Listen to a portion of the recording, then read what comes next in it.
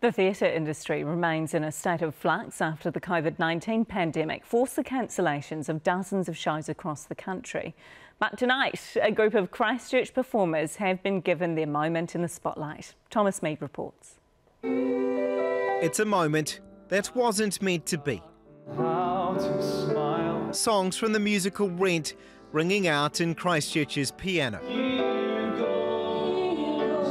The number brought back from the dead after the show was cancelled by the COVID crisis. So I think I was a little shell shocked when it got actually cancelled. I, I don't think I really registered feelings for a while. I was a bit, I was a bit numb to it because I was just overwhelmed. It's one of many. The industry has been devastated by the pandemic, with hundreds of people left out of work.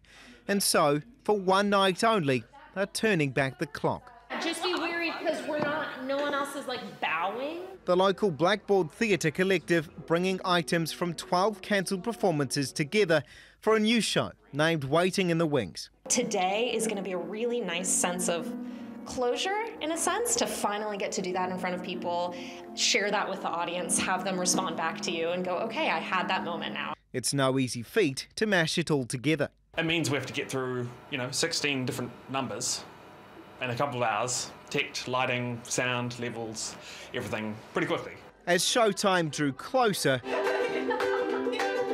the excitement was hard to contain.